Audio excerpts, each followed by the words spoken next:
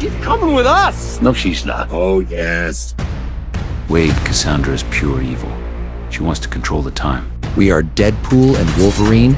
We are here to shut you up. Now that's a superhero landing. Now let's go kick some mutant. This is what I'm talking about. Wait! You really are God's perfect idiot, aren't you? Deadpool and a Wolverine. This just feels right.